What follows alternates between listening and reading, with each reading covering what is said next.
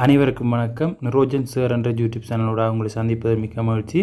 நாங்கள் இந்த பதிவில் இந்த காணொலியில் என்ன பார்க்க போகிறோம்னா கிரேட் லெவலில் உள்ள நாலாவது பாடம் திண்மங்களின் மேற்பரப்பின் பரப்பளவு. இந்த பாடம் சம்மந்தமான விளக்கம் தான் பார்க்க போகிறோம் அதே மாதிரி திண்மங்களின் மேற்பரப்பின் கனவுளவு காண்ற சம்மந்தமாக இருக்குது.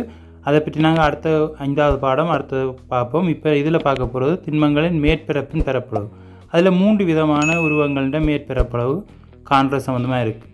பெறப்பளவுன்ற தெரியும். ஒரு ഒരു തളവുരുക്ക് പരപ്പളവ് കാണുന്നത് സതുരമോ സ്വഭാവമോ ഇതിൻ്റെയും பெறப்பளவு காணலாம். മേറ്റ് என்னென்னு എന്നാണ് பற்றி பார்க்க போகிறோம் அதன் മേற்பരപ്പളവുണ്ട് என்ன? അതിൻ്റെ என்னென்னத்தின் மேற்பரப்பளவு காணப்போகிறோம்ன்றதை பற்றி நாங்கள் விளக்கமாக பார்க்க போகிறோம் அது பார்க்குறதுக்கு முன்னுக்கு நம்ம சேனலை யாராவது சப்ஸ்கிரைப் பண்ண பார்த்துட்டு இருந்தால் மறக்காமல் சப்ஸ்கிரைப் பண்ணிக்கொள்ளுங்கள் அதனைத் தொடர்ந்து நாங்கள் விளக்கமாக பார்ப்போம். பலவீன பயிற்சி வரைக்கும் கடைசியாக இருக்குது. அது வரைக்கும் நாங்கள் பார்ப்போம். அதுக்கு முன்னுக்கு இந்த சே சேனலை சப்ஸ்கிரைப் பண்ண பார்த்துருந்தா மறக்காமல் சப்ஸ்கிரைப் கொடுங்க அதே மாதிரி இறுதி வரைக்கும் பார்த்து பிடிச்சிருந்தா மறக்காமல் லைக் பண்ணுங்கள் அதன் மூலம் நிறைய பேருக்கு இந்த காணொலி சென்றடையக்கூடியதாக இருக்கும். பிடிச்சிருந்தா லைக் பண்ணுங்கள் யாருக்காவது பயனுள்ளதாக இருக்கணும் அவர்களுக்கு இதை பகிர்ந்து கொள்ளுங்கள் இப்போ வாங்க நாலாவது பாடத்தை பற்றி பார்ப்போம் திண்மங்களின் மேற்பரப்பின் பரப்பளவு இதுதான் நாலாவதாக இருக்கிற பாடம் கிரேட் லெவனில் அதில் மூன்று விதமான உருவங்களில் மேற்பரப்பளவு காண்ற சம்மந்தமாக இருக்குது முதல் உருவங்கள் என்னென்று தெரிய முன்னுக்கு இந்த மேற்பரப்பினோட என்னென்னு தெரியும் உங்களுக்கு? ஒரு தலை உருவின்ற பரப்பளவு காண்றா சதுரமாக இருந்தாலும் செவ்வகமாக இருந்தாலும் அதன் பரப்பளவு காண்ற சம்மந்தமாக இருக்குது. எங்களுக்கு தெரியும். மேற்பரப்பளவுண்டா ஒரு மேற்பரப்பளவுண்டா ஒரு முப்பரிமாண ஒரு உருவம். அதாவது இப்போ சதுரமண்டா அதை கன உருவம்னு சொல்லுவோம். அதாவது மூன்று பக்கம் முப்பரிமாண வடிவில் இருந்தால் அப்படியான உருவங்களை தான் சொல்லுவோம். முப்பரிமாண உருவத்தில் இருக்குன்ற அதே மாதிரி இங்கே நாங்கள் பார்க்க போகிறது முப்பரிமாண உருவில் இருக்கிற கூம்பகம் அதாவது சதுர அடி கூம்பகம். கூம்பகத்தில் நிறைய வடிவம் இருக்குது அதில் சதுர அடி கூம்பகத்தின் மேற்பரப்பளவு மேற்பரப்பளவுனா சுற்றி வர இருக்கிற பரப்பளவு. வெளியில் இருக்கிற சுற்றி வர இருக்கிற பரப்பளவு தான் மேற்பரப்பளவுன்னு சொல்லுவோம். அதே மாதிரி சதுரடி கும்பத்தின் மேற்பரப்பளவு காணப்படும். அதே மாதிரியே கூம்புன்ற மேற்பரப்பளவு இப்படி காண்றன்னு பார்க்க போகிறோம் சதுரடி கும்பகத்தின் பார்க்க போகிறோம் அதை பற்றி விளக்கமாக வினாக்களும் இருக்குது. ஒவ்வொரு ஒரு வினா பார்க்கலாம். கூம்பு அதாவது கூமன் சொல்லுவோம் கோன் வடிவத்தில் இருக்கிறது. இதுகள் இது என்ற மேற்பரப்பளவு சுற்றி வர இருக்கிற மேற்பட மேற்பெறப்பளவு இப்படி காண்றது. இந்த மாதிரி ஐஸ்கிரீம் வடிவத்தில் கூம்புகள் இருக்குது அதுக்கு வழி லேபிள் ஒட்டுறது அதாவது வழி கவர் ஒட்டுறது சம்மந்தமாக அதன் மேற்பரப்பளவு தெரிஞ்சால் தான் எவ்வளவு கவர் அதுக்கு தேவைப்படும். அதன் லேபிள் தேவைப்படும் என்று நான் காணலாம். அது சம்மந்தமாக பார்க்குறது தான் கூம்பின்ற மேற்பரப்பளவு காண்றது சம்மந்தம் அதே மாதிரி இன்னும் ஒன்று இருக்குது. கோலத்தின் மேற்பெறப்பளவு கோலத்தின் மேற்பரப்பளவு கூமின்றையில் நாங்கள் ஒவ்வொரு விதமான கணக்கு பார்ப்போம். ஒரு ஒரு ஒரு வினா பார்ப்போம். அதே மாதிரி மூன்றாவது இருக்க கோலத்தின் குண்டு வடிவமோ பந்து வடிவமோ அதுன்ற கோலத்தின் மேற்பரப்பளவு. இப்போ ஒரு பந்து செய்யணும்னா அதுக்கு எவ்வளவு? பந்தின் அந்த தோல் தேவைன்றதை பற்றி கண்டுபிடிக்கிறதுக்கு மேற்பரப்பளவு சம்மந்தமான அறிவு இருக்கும் உங்களுக்கு. அது எப்படி? அதுன்ற சமன்பாடு என்ன? மேற்பரப்புன்ற சமன்பாடு என்ன? அதில் ஒவ்வொரு விதமான கணக்கு செய்யப்படும். அந்த சமன்பாடு எப்படி உருவான இது சம்மந்தமாக தான் நாங்கள் இந்த காணொலியில் பார்க்க போகிறோம் முதல்ல திண்மங்களின் மேற்பரப்பின் பெறப்படவும் நாலாவது படமாக இருக்குது அதில் என்ன பார்க்க போகிறோம்னு நாங்கள் இப்போ சொன்னதை விளக்கமாக சொல்லியிருக்கு. இப்பாடத்தை கேட்பதன் மூலம் நீங்கள் ஒரு செங்கும்பகத்தின் மேற்பரப்பு அதாவது சதுரடி கும்பகம் தான் செங்கும்பகத்தின் மேற்பரப்பின் பெறப்பளவை கணிப்பதற்கும் செங்கூம்பின் அதாவது கூம்பின்ற மேற்பரப்பின் பெறப்பளவை காண்றதுக்கும் அதே மாதிரி கோலத்தின் மேற்பரப்பு காண்றதுக்கு மூன்று விதமாக இருக்குது அதில் சமன்பாடு என்ன அந்த சமன்பாடு எப்படி உருவானது அதை வச்சு ஒவ்வொரு ஒரு கணக்கு பார்ப்போம். நாங்கள் முதலாவது சதுர அடி கூம்பகம். அதாவது கூம்புன்னு சொல்லுவோம். செங்கூம்பு. செங்கூம்பகத்தின் மேற்பரப்பளவு. அடுத்தது செங்கூம்பு. கூம்பு வேற கூம்பகம் வேற. சதுர அடி தான் கூம்பகம். சதுர அடி கூம்பகத்தின் மேற்பரப்பளவு எப்படி காண்றேன்னு பார்ப்போம். சதுர அடி கூம்பகம்னா அதுக்கு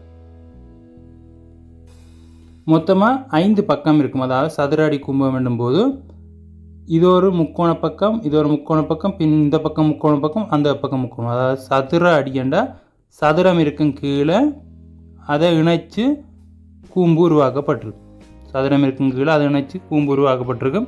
கீழே சதுரம் இருக்கிறபடியாக நாலு பக்கம் கட்டாயம் இருக்கும். அந்த நாலு பக்கத்திலே முக்கோணம் இருக்கும். இப்போ முக்கோணங்கள் நாலு இருக்க போது ஒரு சதுர வடிவம் இருக்க போகுது. புரியும் நினைக்கிறேன்? சதுர அடி கூம்பகம் என்றபடியாக ஒரு சதுரம் கீழே இருக்கும். சதுரத்தை அடியாக கொண்ட கூம்பகம். மேலே முக்கோணம் இருக்க போது நாலு சதுரம் இரு சதுரத்துக்கு நாலு பக்கம் என்றபடியாக நாலு ப நாலு பக்கத்துலேயே முக்கோணத்தை நினைச்சா நாலு முக்கோணமும் ஒரு சதுரமும் இருக்குது இதுகின்ற மேற்பரப்பளவு அப்படின்னு காணப்போகிறோம் முக்கோணத்தின் முதல்ல ஒரு முக்கோணத்தின் மேற்பரப்பளவு காணப்போகிறோம் அதே மாதிரியே நாலு முக்கோணம் இருக்கக்கூடிய நாலாக பிரிக்கலாம். இல்லாட்டி நாலு தடவை கூட்டலாம். அதே மாதிரி சதுரத்தின்டையும் பரப்பளவு காணப்போகிறோம் கீழே சதுரம் இருக்குது நாலு பக்கமும் முக்கோணம் இருக்குது இதுகின்ற பரப்பளவு காணப்போகிறோம் இதுக்கு எங்களுக்கு தேவைப்படுறது சதுரத்தின் ஒரு பக்க நீளம் அதே மாதிரி முக்கோணத்தின் பரப்பளவான முக்கோணத்தின் செங்குத்து உயரம். முக்கோணத்தின் செங்குத்து உயரம் செங்கும்பகத்தின் செங்குத்து உயரம் இல்லை முக்கோணத்தின் செங்குத்து உயரம். இதை தெரிஞ்சு நாங்கள் செய்யலாம்.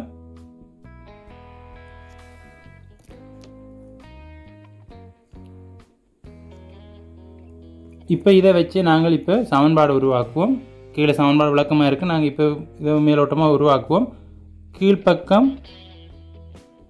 ஒரு ஏஎண்ட் இருந்தால் ஒரு பக்க நீளம் ஏஎண்ட் இருந்தால் இந்த பக்க நீளம் கட்டாயம் ஏஎண்ட் தான் இருக்கும். ஏன்டா சதுரம்.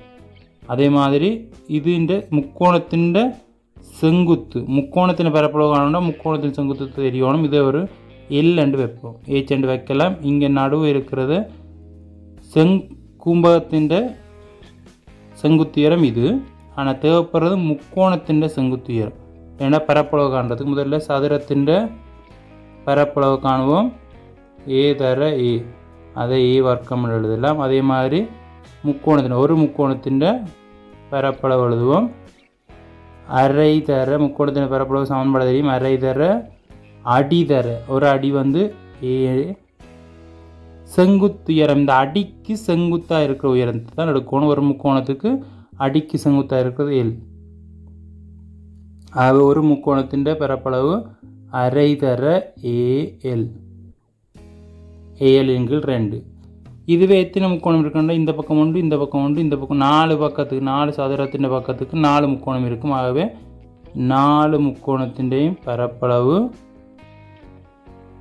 നാലാളെ பெருக்கோணம் എ എല് ரெண்டு இதே ഇതേം ഇതേം ரெண்டு ஏஎல் ரெண்டு എൽ ரெண்டு ஏஎல் രണ്ട് ഏഴ് രണ്ട് പേരുത് നാല് മുക്കോണത്തിൻ്റെയും പരപ്പളവ് ഇതോടെ സാധനത്തിൻ്റെ പരപ്പളവും കൂട്ടിനകത്താൻ മേൽപ്പരപ്പളവ് മൊത്തം മേൽപ്പരപ്പളവ് വരും സാധനത്തിൻ്റെ പരപ്പളവ് മൊത്ത മേൽപ്പരപ്പളവ് എഴുതുന്നുമുണ്ട് സാധനത്തിൻ്റെ പരപ്പളവ് ഏ വർക്കം സക നാല് മുക്കോണത്തിൻ്റെ പരപ്പളവും രണ്ട് ഏ ഇതാണ് செங்கும்பகத்தின் பரப்பளவுக்குரிய சமன்பாடு. இது சம்பந்தமாக விளக்கமாக கீழே இருக்குது. நாங்கள் பார்ப்போம் இப்போ. இப்போ உருவாக்கினது விளங்கியிருக்கும்னு நினைக்கிறேன். சதுர அடி கும்பகம் கும் சதுர அடி அடி சதுரமாக உள்ள செம் கும்பகத்தின் மேற்பரப்பின் பரப்பளவு. இப்போ நாங்கள் கண்டதைத்தான் விளக்கமாக சொல்லியிருக்குது. அடிப்பக்கம் சதுரமாக இருக்கும். அதை சொல்லியிருக்குது. அடிப்பக்கம் சதுரமாக இருக்குது கீழ்ப்பக்கம் சதுரமாக இருக்கும். ஒரு சதுரம் இருக்குது. ஒரு பக்கம் நீளம் ஏ என்று தந்திருக்கு. இந்த பக்கமும் ஏ தான். அதே மாதிரி ஒவ்வொரு முக்கோணம் இருக்கும். ஒரு ஒரு அடிக்கு பக்கத்துக்கும் முக்கோணம் இருக்கும். அடி அதே ஏயாத்தான் இருக்கும். இந்த நீளம் ஏன்றபடியே ஏயாத்தான் இருக்கும். இதில் இருந்து அடியில் இருந்து செங்குத்துயரத்தை எல் என்று எடுத்திருக்கு. அதில் இருந்து சதுரத்தின் பரப்பளவு ஏ வர்க்கம் ஒரு முக்கோணத்தின் அரை ஏஎல் நாலு முக்கோணத்தின் ரெண்டு இது சம்மந்தமாக கீழே விளக்கமாக இருக்குது இப்போ நாங்கள் இந்த முழு கூம்பகத்தின்றையும் பரப்பளவு எழுதுவோம்னா சதுர கூம்பகத்தின் மொத்த மேற்பரப்பளவு சதுர அடியின் பரப்பளவு சக நாலு தர முக்கோண முகத்தின் பரப்பளவு. அதை போட்டு விளக்கமாக எடுத்து கிடக்கு. சதுர அடிக்கு ஏல் நாலு தர அரை ஏல் அதை பெருக்கினா ஏ வர்க்கம் ரெண்டு ஏல் இதுக்குரிய சமன்பாடு ஏ வர்க்கம் சக ரெண்டு ஏல் ஏ வர்க்கம் சக ரெண்டு ஏஎல். இது சமமான சில சமன்பாடுகள். எக்ஸாமுக்கு பெரும்பாலும் தருபடும் முதல் பக்கத்திலேயே தந்துபட்டு தருபற்றும் அப்படி தராட்டிக்கு நாங்கள் செய்யக்கூடியதாக இருக்கணும் இந்த சமன்பாடுகள் பயன்படுத்தி. பெரும்பாலும் த தரப்பட்டிருக்கும் தராட்டிக்கு நாங்கள் செய்யக்கூடியதாக இருக்கணும். இந்த சமன்பாடை பயன்படுத்தி இதில் பேரதிகிறது சம்மந்தமாக இருக்குது. இப்போ சதுர அடி செங்கும்பகத்தின் சதுர அடி செம்பக செங்கூம்பகத்தின் பரப்பளவு கூம்பு வர கூம்பகம் வர ரெண்டு ஏ எல். இங்கே எல்ன்றது முக்கோணத்தின் செங்குத்துயரம் இது சம்மந்தமாக நாங்கள் விளக்கமாக வினாக்கள் பார்க்க விளங்கும். அதில் உதாரணம் போட்டு வினாக்கள் எல்லாம் போட்டுருக்கு நிறைய. அதை வேணும்னா நீங்கள் செய்து பாருங்கள் அதை பார்த்தாலே விளக்கமாக இருக்கும். அதே மாதிரி இங்கே பைதரசன் திட்டம் பயன்படுத்தி செய்ய தெரியணும் இப்படி ஒரு கும்பகம் இருக்குன்னா இந்த உயரம்தான் எல்லுன்னு நாங்கள் எடுத்துனாங்க. இது தான் எல்லுன்னு போட்டுருந்தாங்க. அப்போ எல்லுக்கு பிரதிரோணம் சில வேளை இதுக்கு செங்குத்தாக வரைஞ்சிட்டு இதை ஏச்சண்டோ இல்லை அஞ்சு சென்டிமீட்டரோ இதோ ஒன்று தந்துருவினோம். அதை வச்சு கொண்டு இது அஞ்சண்டு தந்தால் இப்போ இதை மூன்று இதன் இந்த நீளம் அஞ்சண்டு இருக்குது. அப்போ இது மொத்தமாக பத்தண்டு இருக்குது இது மட்டும் அஞ்சு. என்னோடய அரைவாசி அஞ்சு. அதை வச்சு பைதேசம் தேட்டத்தை பயன்படுத்தி இதை காணும். இதை கண்டு தான் இங்கே வந்து பிரதிவிடும் அது நாங்கள் வினா பார்க்கும்போது விளங்கக்கூடியதாக இருக்கும். அந்த இதே மாதிரி போட்டிருக்குது. இங்கே எட்டாம் மொத்தமாக பன்னிரெண்டு ரெண்டா அதிൻ്റെ அரைவாசி இது ஆறு இது எட்டு இது ஆறுண்டா இது பத்து பைதரசன் தேட்டம் தெரியும்னு நினைக்கிறேன். இப்போ பைதரசன் தேட்டம்ண்டா பெரிய வேலை ஒன்றும் இல்லை அது நாங்கள் கணக்கு பார்க்கும்போது விளங்கும். இந்த இதுலேயும் இருக்குது. ரெண்டாவது அரத்தை பார்த்துக்கொள்ளுங்க எல் வர்க்கம் சக எட்டு வர்க்கம் சக ஆறின் வர்க்கம். அதை வச்சு ஒன்று பைதரசன் தேட்டத்தை பயன்படுத்தி கிடக்கு. நாங்கள் அதில் ஒரு கணக்கு பார்ப்போம். இந்த உதாரணத்தை பார்த்து நீங்கள் புரிஞ்சு கொள்ளுங்கள் இதில் ஒரு கணக்கு பார்ப்போம். இப்போ நாங்கள் பயிற்சி நாலு தசம் ஒன்று சதுர அடியின் ஒரு பக்கத்தின் நீளம் இருபது சென்டிமீட்டர் ஆக உள்ள செங்கூம்பகம் ஒன்றின் ஒரு முக்கோண முகத்தின் செங்குத்துயரம் பதினஞ்சாம். ஒரு முக்கோண முகத்தின் செங்குத்துயரம் பதினஞ்சாம். செங்குத்துயரம் தந்துகளுக்கு பதினஞ்சு. அது போட்டும் இருக்குது சரி. செங்கும்பகம் பதினஞ்சு சென்டிமீட்டர் அதுன்ற உயரம். செங்கும்பகத்தின் மொத்த மேற்பரப்பளவை காணட்டாம் பக்க நீளம் இருபதாம் அதுவும் தந்துகளுக்கு இருபது இருபது. இதுகின்ற மொத்த மேற்பரப்பை காணட்ட மொத்த மேற்பரப்புக்குரிய சமன்பாடு ஏ வர்க்கம் சக ரெண்டு ஏஎல் இப்போ ஏக்கு பதிலாக இருபது இருபதுன்ற வர்க்கம் சக ரெண்டு தடவை ஏக்கு பதிலாக இருபது எல்லுக்கு பதிலாக முக்கோண முகத்தின் செங்குத்துயரம் அதுதான் தந்து இருக்குது அதனால் அதை அதை தான் கவனமாக போடணும். நேரடியாக போடுவோம். இப்போ இதை சுருக்கினோம்டா இருபதுன்ற வர்க்கம் இருபது இருபதால் பிரிக்கினா நானூறு. இதை பிரிக்கணும்டா ரெண்டு தர இருபது நாற்பது அதை பதினஞ்சால் பிரிக்கணும்டா அறுநூறு. நாற்பதை பதினஞ்சாக பிரிக்கணும்னா அறுநூறு. இதுக்குரிய விட வந்து ஆயிரம். அலகு கட்டாயம் போடணும். சென்டிமீட்டர் வர்க்கம் மேற்பரப்பளவனுடைய வர்க்கம். ஆயிரம் சென்டிமீட்டர் வர்க்கம் இதுக்குரிய விடு.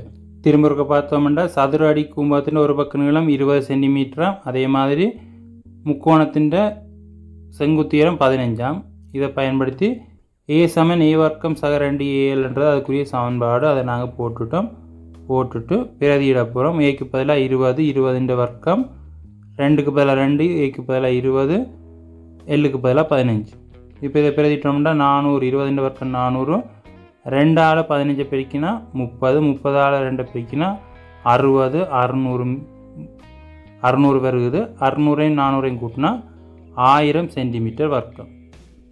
ஆயிரம் சென்டிமீட்டர் வர்க்கம் தான் இந்த மொத்த மேற்பரப்பளவு இந்த செங்கும்பகத்தின் மொத்த மேற்பரப்பளவு ஆயிரம். இந்த சமன்பாடு மறக்கக்கூடாது. அதே மாதிரி நிறைய வினாக்கள் இருக்குது ஒன்றை நீங்கள் எல்லாத்தையும் செய்து பார்க்கலாம். அதில் செங்குத்து இரம் தராமல் கூம்பகத்தின் செங்குத்துயரம் தந்துருக்கு இந்த மூன்றாவது வினா பார்ப்போம் நாங்கள். செங்குத்துயரம்ன்றது முக்கோணத்தின் செங்குத்து செங்குத்துயரம்ன்றது இதைத்தான் நாங்கள் சொல்லுவோம். இதைத்தான் முக்கோணத்தின் செங்குத்துயரம்னு சொல்லுவோம். ஆனால் இது தெரியல தந்திருக்கிற வந்து செங்கூம்பகத்தின் செங்குத்துயரம் தந்துடாக்கு இந்த செங்குத்து இரம் தந்துடாக்குது நாங்கள் இதை கண்டால் தான் முக்கோணத்தின் பரப்பளவுக்கு பிரதியிடலாம் முக்கோணத்தின் பரப்பளவுக்கு அது இந்த செங்குத்துயரம் தான் தேவை. ஆனால் அது தெரியல இதை நாங்கள் பைதர்சன் தேட்டத்தை போட்டு காணணும். பைதர்சன் தேட்டம் தெரியுமான்னு நினைக்கிறேன். பைதர்சன் தேட்டம்ண்டா ஒன்றுமில்லை. ஒரு செங்கோண முக்கோணத்தில் செங்கோண முக்கோணத்தில் இது செம்பக்கம் செங்கோணம்னு சொல்லுவோம். செங்கோணம்னா செங்கோணத்துக்கு எதிராக உள்ள பக்கம் செம்பக்கம்னு சொல்லுவோம். செம்பக்கம்னு சொல்லுவோம் செங்கோணத்துக்கு எதிராக உள்ள பக்கம். செங்கோண முக்கோணத்தில் செங்கோணத்துக்கு எதிருள்ள பக்கம் செம்பக்கம்னு சொல்லுவோம் மற்ற பக்கத்தை ஏபி என்று வச்சோம்டா മറ്റ പക്കം രണ്ടിൻ്റെയും വർക്കം വന്ന് എയിൻ്റെയും ബിയിൻ്റെയും വർക്കത്തെ കൂട്ടിനാ സി വർക്കത്തേക്ക് സമയം അതായത് സെമ്പക്കത്തിൻ്റെ വർക്കമാണത് ഏനിയ രണ്ട് പക്കങ്ങളുടെ വർക്കങ്ങളുടെ കൂട്ടുത്തുകയ്ക്ക് സമയം സെമ്പക്കത്തിൻ്റെ വർക്കമാണത് ഏനിയ രണ്ട് പക്കങ്ങളുടെ വർക്കങ്ങളും കൂട്ടുത്തുകയ്ക്ക് സമയം ഇதை போட்டு பிரதிட்டு இங்கே விட காணப்போகிறோம் இதை நேரடியாக காணலாம் நாங்கள் செங்கோணம் முக்கோணத்தில் செம்பகத்தின் வர்க்கம் ஏனைய இரு பக்கங்களின் வர்க்கங்கள கூட்டுத்தொகைக்கு சமன். ரெண்டு பக்கத்தையும் வர்க்கிச்சு கூட்டினா செம்பகத்துக்கு சமனாக வரும். இப்போ செம்பக்கம்ன்றது இது செங்கோணம் செம்பக்கம்ன்றது இதுதான். இதை நாங்கள் எக்ஸ் என்று வச்சோம்னா எக்ஸ் வர்க்கம்ன்றது மற்ற ரெண்டு பக்கங்களோட வர்க்கங்களோட கூட்டுத்தொகை. இந்த பக்கம் ஆறுண்டு இருக்கு ஆறுண்ட வர்க்கம் சக இந்த பக்கம் தெரியாங்களுக்கு அதாவது மொத்தம் பதினாறுண்டு வந்து இருக்குது அப்போ இந்த பக்கம் அரைவாசி அரைவாசி தான் ഇതിൻ്റെ അരവാസിയായി தான் இருக்கும் ஆகவே இது എട്ട് അപ്പോൾ എട്ടിൻ്റെ വർക്കം ആറാറ് മുപ്പത്തി ആറ് സക എട്ടിൻ്റെ വർക്കം എണ്ണിട്ട് അറുപത്തി നാല് രണ്ടേയും കൂട്ടണമുണ്ട് ആയിരമുണ്ട് പേര് രണ്ടേയും കൂട്ടിന ആയിരമുണ്ട് പേര് സോറി രണ്ടേയും കൂട്ടിന രണ്ടേയും കൂട്ടിന നൂറ് ഇപ്പോൾ എക്സ് വർക്കം നൂറുണ്ട എക്സ് തരിയും എങ്ങൾക്ക് எக்ஸ் வர்க்கம் நூறுண்டா நேரடியாக எக்ஸை காணலாம் நாங்கள். எக்ஸ் வர்க்கம் நூறுண்டபடியாக நூறுக்கு வர்க்கம் எடுத்தால் தான் எக்ஸ் வரும் நூறுண்ட வர்க்கம் மூலம் பத்து. அதாவது பத்தை வர்க்கிச்சா தான் நூறு வரும். ஆகவே இந்த பக்கம் நிகழும் எக்ஸ் வந்து பத்து. எக்ஸை தான் நாங்கள் இல்லைன்ட்டு போடுறாங்க இப்போ நேரடியாகவே பிறகு எல்லாம் கண்டாச்சு. இல்லை கண்றது காண்றது மட்டும்தான் தேவையாண்டபடியாக தான் இந்த கணக்கு மூன்றாவது கணக்கு பார்க்குறோம். இல்லாட்டிக்கு அடுத்ததுக்கு போயிருப்போம். இப்போ நேரடியாக ஏ சமன் ஏ வர்க்கம் சக ரெண்டு ஏழில் பிரதிட்டால் சரி. ஏக்கு பதிலாக பதினாறுன்ற வர்க்கம் சக ரெண்டுக்கு பதிலாக ரெண்டு பதினாறு ஏழுக்கு பதிலாக இப்போ கண்டுட்டோம். பத்து. அதை போட்டு பிரதிட்டா சரி. அதை போட்டு பிரதிட்டால் எங்களுக்குரிய விட வந்துடும். அதை சுருக்கி கொடுக்குறதா வேலை. இப்போ இந்த எல்லை காண்றது காமிட்டி தான் இந்த கணக்கு மூன்றாவது கணக்கு பார்த்துனாங்க இப்போ சதுர அடி கூம்பகத்தின் அதாவது கூம்புன்ற கூம்பகம் சதுரடி கூம்பகம் இல்லாட்டி செங்கூம்பகம்னு சொல்லுவோம். கூம்பகம் என்றாலே சதுரடி கூம்பகம் தான். கூம்பகத்தின் பரப்பளவுக்குரிய சமன்பாடும் அது எப்படி வந்தது என்றும் அதுக்குள்ளே ரெண்டு கணக்கு பார்த்துட்டோம். வித்தியாசமான கணக்கு ரெண்டு பார்த்துட்டோம். இப்போ பார்க்க போகிறது கூம்பு. கூம்பின் மேற்பரப்பளவு அப்படி காண்றது? இது கொஞ்சம் வித்தியாசமானது. கூம்பகம் என்றேக்க எத்தனை வடிவங்கள் இருக்கும் ஐந்து வடிவம் இருக்கும் வேண்டிட்டு ஐந்தையும் கண்டுட்டோம். இது கொஞ்சம் வலைப்பரப்பு சம்மந்தமாக இருக்குது. இதை கொஞ்சம் கவனமாக பார்க்கணும் நாங்கள். கூம்பண்டைக்கு உச்சி இருக்கும் சாய்வு உயரம் இருக்கும் செங்குத்து உயரம் இருக்கும் வலைப்பரப்பு இருக்கும் ஆரை இருக்கும் வட்டாடி இருக்கும். அது சம்மந்தமாக தந்துடாக்கு உச்சி ஏண்டா சாயிர சாய்வு உயரம்ண்டா செங்குத்து உயரம் வலைப்பரப்பு அது சம்மந்தமாக தந்துருக்கு. அது விலங்குகளுக்கு செவ்வட்ட கூம்பின் மேற்பரப்பின் பரப்பளவு செவ்வட்ட கூம்பு. அது செவ்வட்ட கூம்பகம் இது கூம்பு. இது என்ன பரப்பளவு எப்படி காண்றேன்னு பார்க்க போகிறோம் பரப்பளவுண்டா அடிப்பக்கம் ஒரு வட்டம் இருக்குது. அதுகின்ற பரப்பளவை காணணும். பரப்பளவுண்டா அது முழுக்களையும் சேர்த்து வெளியில் இருக்கிற எல்லா பக்கத்தையும் சேர்த்து அதுக்கு இவ்வளவு பேப்பர் வச்சு ஒட்டினோம்னா இவ்வளோ பேப்பர் தேவை வேண்டதை பற்றி தான் மேற்பரப்பளவுன்னு சொல்லுவோம். அடியில் ஒரு வட்டம் இருக்குது அதே மாதிரி வளைந்த பரப்புண்டு இருக்குது ஒரு வளைவான பரப்புண்டு இருக்குது இதை சுற்றி வளைவான பரப்புண்டு இருக்குது. அடிப்பக்கம் வட்டமாக இருக்கும். வட்டத்தின் பரப்பளவு சமன்பாடு தெரியும். பையார் வர்க்கம் கிரேட் எண்ணிலே இருக்குது பையார் வர்க்கம் வட்டத்தின் பரப்பளவு. அதோட ஒரு வலைபரப்பும் இருக்குது கூம்புக்கு. அந்த வலைபரப்பு வலைபரப்பு வட்டி எடுத்தோம்னா ஒரு பூரணம் இல்லாத வட்டம். அரை வட்டமோ காவட்டமோ நாங்கள் எடுக்கிற கூம்பின் அளவுக்கு ஏற்ற மாதிரி அதுகின்ற வட்டத்தின் படிவம் மாறுபடும். இப்படி ஒரு முழுமை இல்லாத ஒரு வட்டம் ஒன்று வரும். அந்த வட்டத்தின் ஆரை இந்த சாயுரம் எல்லாம் இருக்கும். அந்த வட்டத்தின் ஆறு சாயுரம் எல்லாம் இருக்கும். இதுகின்ற பரப்பளவும் வட்ட அடியின் பரப்பளவையும் கண்டு கூட்டினோம்டா மொத்த மேற்பரப்பளவு வரும். மொத்த மேற்பரப்புண்டா வட்ட அடி கீழே இருக்க வட்ட அடியின் மேற்பரப்பும் வேணும். அதே மாதிரி அதுகின்ற வலைப்பரப்பு. வலைப்பரப்பின் பரப்பளவும் கண்டோம்டா இதை சுற்றி வர எவ்வளோ ஒட்டணும் அதே நேரம் கீழ்ப்பக்கத்துக்கு எவ்வளோ தேவைன்றதை பற்றி நாங்கள் காணலாம். இப்போ இது ரெண்டையும் காட்டுறதா வேலை இதை காண்றதுக்கு பையார் வர்க்கம்னு தெரியும் எங்களுக்கு. வட்டத்தின் பரப்பளவு ஆனால் இது காண்றதுக்கு தெரியாது. வட்டத்தின் பரப்பளவு தான். கோணம் தந்த அரைவட்ட கோணம் தந்தால் அரை என்று போடுவோம். இல்லாட்டி முந்நூற்றி அறுபது மேல் கோணத்தின் நூற்றி எண்பது என்று போடுவோம். இங்கே கோணம் தெரியல. ஆகவே கோணம் தெரிஞ்சால் நாங்கள் நேரடியாக எழுதிட்டு எழுதிட்டு போயிடலாம். வட்டத்தின் பரப்பளவுக்குரிய சமன்பாடை போட்டு முந்நூற்றி அறுபது மேல் எத்தனை போட்டு போயிடலாம். ஆனால் இங்கே கோணம் தெரியும் அதனால் கோணம் காணும். கோணம் காண வேணும். கண்டாதான் செய்கிறது இலகுவாக இருக்கும். இப்போ கோணம் காண்றது சம்மந்தமாக விளக்கமாக இருக்குது.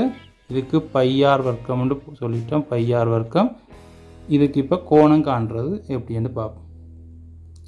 வலைபரப்பின் பரப்பளவானது அதனை விவரி விரிப்பதன் மூலம் பெறப்படும் ஆரைச்சிறையின் பரப்பளவுக்கு சமனம் அதை விரிக்கிறதன் மூலம் கிடைக்கிற ஆரைச்சிறையின் பரப்பளவுக்கு சமனம் இந்த ஆரைச்சிறையின் ஆரை எல் ஆகும் ஆரைச்சிறை என்றால் ஆரை எல்லாம் அதை நான் சொல்லிட்டோம். அதன் வில்லின் நீளம் டூ பை ஆர் ஆகும். அந்த வில்லின் சுற்றளவு டூ பை ஆர் அதுவும் தந்திருக்கு வலைபரப்பில் ஏனெனில் அவ்வில்லின் நீளம் அடிவட்டத்தின் பரிதியாகும். இந்த இதை சுற்றி நாங்கள் அளந்தோம்னா வட்டத்திൻ്റെ சுற்றளவு தான் ഇതിൻ്റെ வில்லின் நீளமாக വരുത് ஏனெண்டா டூ பையர்றான் வட்டத்தின் சுற்றுலாவுக்குரிய சமன்பாடு. இதை நாங்கள் ஒரு கூம்பொண்டு செய்துட்டு வட்டி எடுத்தோம்னா அந்த நீளம் வந்து இது அடியின் இதுக்கு சமனாக தான் இருக்கும். இதே அளவுக்கு தான் நாங்கள் வளைச்சி விட்ட போகிறோம் அதனால் அதே அளவுக்கு தான் டூ பை அதுன்ற நீளம் எவ்வளவோ அவ்வளோத்துக்கு வரப்போகுது. சுற்றளவு எவ்வளவோ அதுக்கு தகுந்த மாதிரி வரப்போகுது. டூ பை ஆறாகும் அது சம்மந்தம் விளக்கம் தந்திராக்கி இப்போது இந்த ஆராய்ச்சியின் மைய கோணத்தை பற்றி காணுவோம். மைய கோணம் எப்படி காண்றேன்னு காணுவோம். இப்போ சுற்றளவு தெரியும். சுற்றளவுக்குரிய சமன்பாடு முந்நூற்றி அறுபதின் மேல் தீட்டா தர டூ பை ஆறாம் வட்டத்தின் சுற்றளவு சமன்பாடு. அது எங்களுக்கு தெரியும்.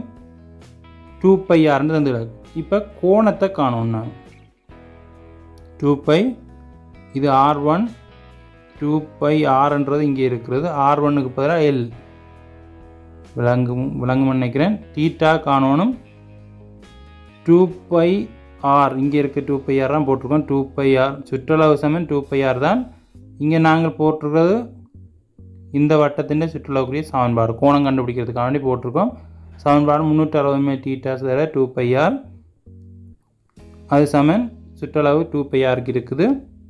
டூ பை ஆரின் கீழ் கோணம் காண்றதுக்கு. இந்த கோணத்தை அப்படி வச்சுருந்தோம்னா two pi R two pi R one R ஒன்னுக்கு பதிலாக இங்கே இது இந்த ஆறு எல். தர முந்நூற்றி அறுபது. இப்போ டூ பையன் டூ பையன் பட்டினோம்னா தீட்டா சமன் தீட்டா சமன் டூ பையன் டூ பையன் பட்டுப்பற்றும் டூ பையன் டூ பையன் பட்டுப்பட்டால் முந்நூற்றி அறுபது ஆறின் கீழ் எல் தீட்டா காண்றது சம்மந்தமாக தரம் பத்துலேயே இருக்குது தரம் கிரேட் டென்லேயே இருக்குது டீட்டா காண்றத மையக்கோணம் காண்ற சம்மந்தமாக அதை பயன்படுத்தி மையக்கோணம் கண்டடாக்கு முந்நூற்றி அறுபது ஆறின் கீழ் எல் இப்போ மையக்கோணம் கண்டால் அதுகின்ற பரப்பளவு காணலாம். மையக்கோணம் தெரிஞ்சால் அதுகின்ற பரப்பளவு நாங்கள் இலக்குவாவை கண்டுடலாம் வட்டத்தின் பரப்பளவுக்குரிய சமன்பாடு பை பையார் வர்க்கம். அதுகின்ற கோணம் சிறு வட்டம் சிறுசாக இருக்கிறபடியாக கோணத்தை மேலே போடணும். கோணத்தை ஒரு டீட்டா ஆண்டு வைப்போம். இப்போ பையார் வர்க்கம் முந்நூற்றி அறுபது தர டீட்டா டீட்டா இருக்குது. அந்த டீட்டாக்கு பதிலாக நாங்கள் மேலே கண்டுட்டோம் கோணம். அதை கொண்டு வந்து பிரதீட்டா சரி. முந்நூற்றி முந்நூற்றி அறுபது ஆறின் கீழ் எல் அதைத்தான் இங்கே எழுதியிருக்குது.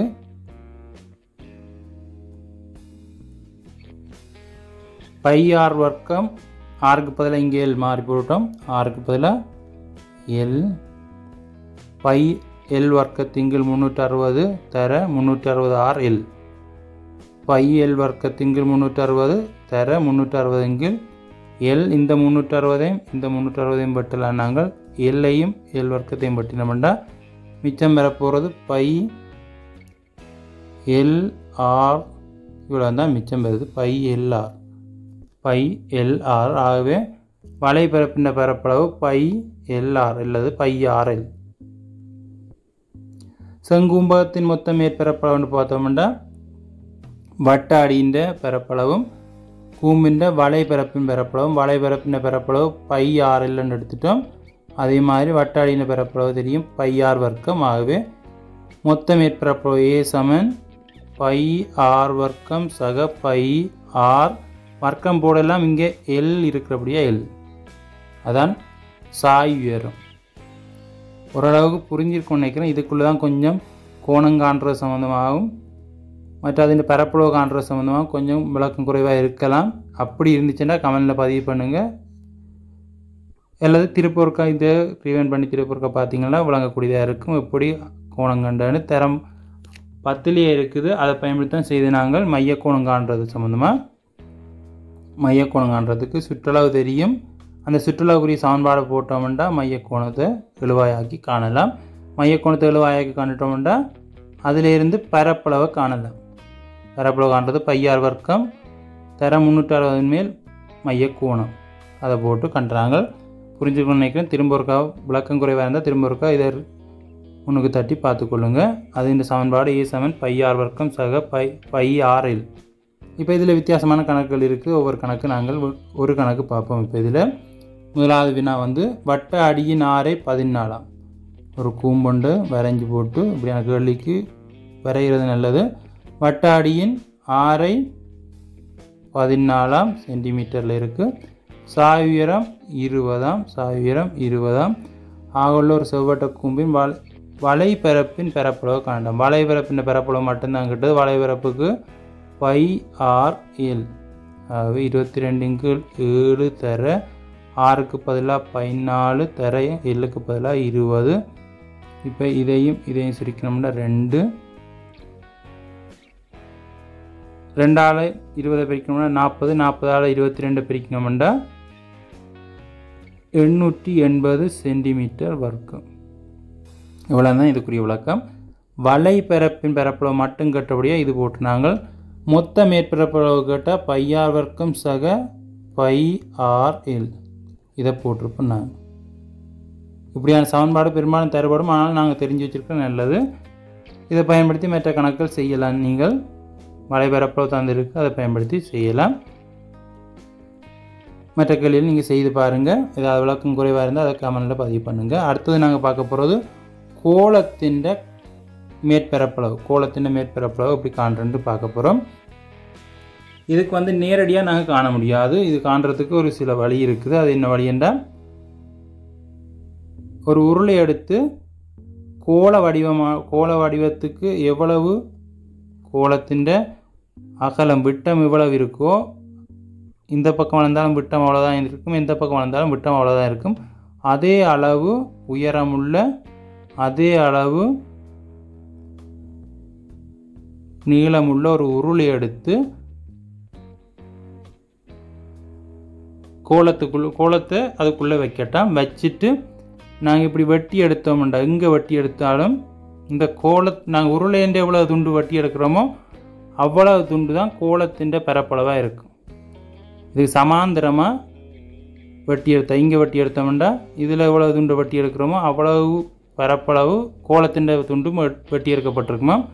இதில் வெட்டி எடுத்தோம்னா அதே அளவு பரப்பளவு இந்த துண்டின் உருளைண்ட பரப்பளவு எவ்வளோ வெட்டுறோமோ அதே அளவு இந்த கோலத்தின் பரப்பளவும் வெட்டி எடுக்கப்பட்டிருக்குமாமன்ட்டு ஆக்கிமிடிஸ் என்ற கணிதவியலாளர் கூறியிருக்கிறார். அதை பயன்படுத்தி தான் இதை நாங்கள் எடுக்க போகிறோம் ஒரு உருளைக்குள்ளே எந்தளவு அ- அகலம் உயரம் இருக்குதோ கோலம் கோலமெண்டா விட்டம் எவ்வளவு இருக்குதோ அதே அளவு அகலத்திலையும் உயரத்திலையும் ஒரு உருளை எடுத்துட்டு அதில் நாங்கள் எவ்வளத்தை வெட்டி எடுத்தாலும் அது கோலத்தின் மேற்பரப்பளவுக்கு சமனாக இருக்குமாம். அது ஆக்கிமிடிஸ் ஆக்கிமிடிஸ் சொல்லியிருக்கிறார். அதை பயன்படுத்தான் இதுகின்ற சமன்பாடு உருவாக்கி கிடக்குது. எவ்வளோ வெட்டி எடுக்கணும் அவ்வளவாம். அப்போ உருளைன்ற மேற்பரப்பளவு என்னவோ அதே தான் கோலத்தின் மேற்பரப்பளவுக்கு வரப்போகுது. ஆகவே உருளைன்ற மேற்பரப்பளவுக்கு சமன்பாடு டூ பை ஆர்எல் அதாவது உருளைன்ற வலைபரப்பு வெட்டி எடுக்க போகிறது வலைபரப்பு தான் அப்போ உருளைன்ற வலைபரப்பு அளவுக்கு தான் கோலத்தின்டையும் இருக்க போகுது. ஒரு உருளையண்டா அதில் வலை பிறப்பை நாங்கள் எவ்வளோத்தை வெட்டி எடுக்கிறோமோ அவ்வளவு பிறப்பளவு தான் கோலத்தின்டையும் இருக்குமா? அதனால் மொத்த வலைபரப்பையும் வெட்டி எடுத்தால் மொத்த கோலத்தையும் வெட்டி எடுக்கிறதுக்கு சமன். அதாவது மொத்த கோலத்துக்கும் சுற்றி பேப்பர் ஒட்டுறதோ என்ன ஒட்டுறதுக்கு சமன். ஆகவே வலைபரப்பு அளவு தான் கோலத்தின் பிறப்பளவும் இருக்கும்போது போது டூ பை ஆர் எல் இங்கே எல்ன்றது கோலத்தின் விட்டம். ஆறு ஆறுண்டா விட்டம். டூ ஆர் ரெண்டு ஆறு அப்போ டூ பை ஆர் தர எல்லுக்கு பதிலாக டூ ஆர் ரெண்டு ரெண்டு பிரிக்கணும் நாலு பை ஆர் வர்க்கம். ஆக கோலத்தின் பரப்பளவு மேற்பரப்பளவு ந ஃபோர் பை ஆர் வர்க்கம். நாலு பை ஆர் வர்க்கம். கோலத்தின் மேற்பரப்பளவு நாலு பை ஆர் வர்க்கம். இப்போ இதுலேயும் ஒரு கணக்கை பார்த்துட்டு நாங்கள் இந்த காலையும் முடிச்சுக்கொள்வோம். இதுலேயும் ஒரு கணக்கு இருக்குது மூன்று தசம் அஞ்சு ஆறை உள்ள ஒரு கோலத்தின் மேற்பரப்பின் பரப்பளவு காணட்டாம். பரப்பளவுக்கு ஏ நாலு பை ஆர் வர்க்கம். நாலு தர பைக்கு பதிலாக நாலு தர இருபத்தி ரெண்டு இங்கு ஏழு தர ஆறுக்கு பதிலாக மூன்று தசம் அஞ்சு ஆறு வர்க்கம் வந்தபடியாக ரெண்டு தரக்கா மூன்று தசம் அஞ்சு. மூன்று தசம் அஞ்சு நாங்கள் இன்னொரு வழியில் போடலாம். ஏழு இன்குகள் ரெண்டு ரெண்டு முழு முழு இலக்கத்தில் போடலாம். அப்போ தான் சுருக்க இலகுவாக இருக்கும். இப்போ ஏழையும் ஏழையும் சுருக்கியாச்சு. ரெண்டையும் இதையும் சுருக்கினா ரெண்டு இந்த ரெண்டையும் இந்த ரெண்டையும் சுருக்கலாம். ஏழை இருபத்தி ரெண்டாவது பிரிக்கணும்னா நூற்றி ஐம்பத்தி நாலு சென்டிமீட்டர் வர்க்கம் சுருக்க சுகம் என்றபடியாக மூன்று தசம் அஞ்சு ஏழு கீழ் ரெண்டு ஏழு ரெண்டாவது வரும் அப்படி போட்டாங்க விட வந்து நூற்றி ஐம்பத்தி நாலு சென்டிமீட்டர் வர்க்கம். கோலத்திட்ட மேற்பரப்பின் பரப்பளவு காண்றது சம்மந்தமாக ஒரு கணக்கு பார்த்துட்டோம். அதில் பொழிப்பு இருக்குது. சதுர அடியை கொண்ட செங்கும் கும்பகத்தின் பரப்பளவுக்குரிய சமன்பாடு ஏ சமன் ஏ வர்க்கம் சக ரெண்டு ஏ எல் இங்கே எல்ன்றது முக்கோண முக்கோண முகத்தின் செங்குத்துயரம் இல்லைன்றது முக்கோண முகத்தின் செங்குத்துயரம் அதே மாதிரி கூம்பின் செங்கூம்பின் மேற்பரப்பளவு பை ஆர் வர்க்கம் சக பை ஆர் எல் அதே மாதிரி கோலத்தின் நாலு பை ஆர் வர்க்கம். இந்த மூன்று விடயம் தான் இதில் இருக்குது. இதே மூன்று விடயம் அதாவது செங்கும்பகம் செங்கூம்பு கோலம் இந்த மூன்றிൻ്றையும் பரப்பளவு சம்மந்தம் இப்போ பார்த்துனாங்க அடுத்தது பார்க்க போகிறது அடுத்தது ஆறாவது பாடமாக இருக்கிறது கனவளவு காண்றது சம்மந்தமாக இருக்குது. அது கொஞ்சம் வித்தியாசமானது. அது எப்படி வந்தது உருவானது கொஞ்சம் வித்தியாசமானது. அதை பற்றி பார்க்க அடுத்த காணொலி அடுத்த காலையில் அதை பற்றி பார்ப்போம். அதை பார்க்க நமது சேனலை மறக்காமல் சப்ஸ்கிரைப் பண்ணி பா சப்ஸ்கிரைப் பண்ணிக்கொள்ளுங்க. நாங்கள் தொடர்ச்சி அடுத்த காலையில் சந்திப்போம். பலவீன பயிற்சியும் இதில் இருக்குது. வேண்டாம் அதை பார்த்துக்கொள்ளுங்க. நான் அடுத்தது பார்க்க போகிறோம் உழவு சம்மந்தமாக அதை பார்க்க நம்ம சேனலை சப்ஸ்கிரைப் பண்ணி வச்சுக்கொள்ளுங்க. அடுத்த காலையில் சந்திப்போம். நன்றி.